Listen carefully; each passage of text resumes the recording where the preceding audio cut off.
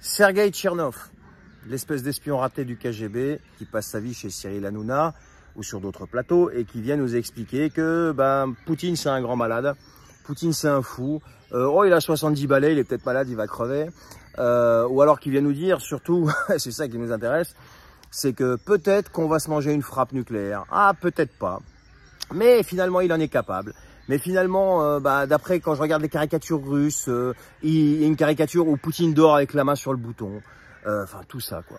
Et le pire, c'est qu'il vient t'expliquer aussi, et ça aussi c'est encore plus grave, que seul Emmanuel Macron a un pouvoir de dissuasion de persuasion pardon, sur, Vladimir Poutine. On a vu le pouvoir de persuasion, regarde l'état de Mariupol et l'état de l'Ukraine en général. Et que seul Macron arrive à dire à Poutine ce que personne n'ose lui dire au Kremlin. Et que, et que, et que, Sergueï, euh, on n'a pas besoin de conseillers comme toi en France, en fait. L'espèce de conseiller soviétique raté, là, euh, espion du KGB ou je sais pas quoi, et encore ça, bon, ça à vérifier. Euh, si jamais tu as autant d'informations et tu as autant d'utilité, si tu veux, dans ce conflit, que tu ressens que tu as autant d'utilité dans ce conflit, moi je te suggère c'est de prendre un avion et tu vas à Kiev conseiller Zelensky directement parce que c'est là-bas qu'il en a besoin de tes conseils, tu vois. Alors après, tu peux ne pas avoir les cojones de le faire, et ça je peux comprendre, parce que c'est beaucoup plus facile euh, de donner des conseils depuis la France et de spéculer et depuis la France. On va voir ce que c'est cette spéculation à deux balles là que tu fais là. T'es pas le seul d'ailleurs. Que d'aller euh, chez Zelensky en pleine zone de guerre euh, conseiller un président qui est au cœur du combat. Voilà, donc ça c'est beaucoup plus simple. Donc après, il faut avoir les cojones pour ça, parce qu'il y en a quelques-uns qui ont essayé d'y aller, ils sont vite revenus.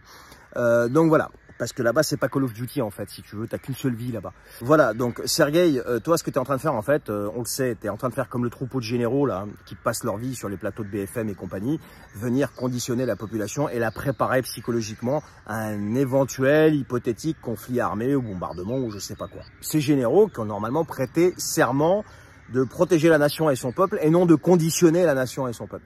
Mais si tout ça, par malheur, ça arrivait, en fait, qu'on subirait une attaque ou je sais pas quoi, mais vous, vous allez faire quoi en fait, les courageux des plateaux télé là? Vous allez tous vous carapater dans vos bunkers et aller vous planquer les gars. Ceux qui vont subir et qui vont payer le prix, ça va être le peuple, ça va pas être vous. Donc, un minimum de respect pour ceux qui vont éventuellement subir en cas d'attaque et fermez-la en fait. Ils n'ont pas besoin de votre conditionnement. Ils ont besoin plutôt de conseils si vous voulez comment réagir euh, dans ces moments-là. Mais toi, Sergei, tu peux pas le savoir parce que tu n'as jamais subi de bombardement. Euh, les journaleux non plus. Les généraux, eux, ils ont plutôt bombardé et donné des ordres de bombardement plutôt que de subir des bombardements. Donc tout ça, vous savez pas. Donc les conseils, vous pouvez pas les donner. Donc encore une fois, juste fermez-la les mecs. Et toi, Sergei, encore une fois, si tu es un pro du KGB, casse-toi chez Zelensky et va va le conseiller là-bas et arrête de nous emmerder ici en France.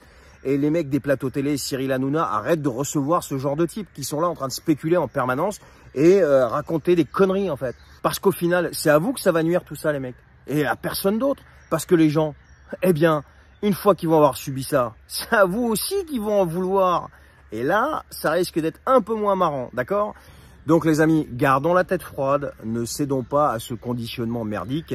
Euh, et surtout à ce culte de la personnalité qui est promu par la Macronie là, et maintenant par un ancien espion du KGB. Euh, voilà, le culte de la personnalité, vous avez bien compris, autour d'Emmanuel Macron. Ne cédons pas à tout ça, parce que jusqu'à présent, la pire des catastrophes qui arrive à ce pays, c'est l'élection de Macron pour 50 plus, croyez-moi. Voilà, allez, une bonne journée, à très bientôt, ciao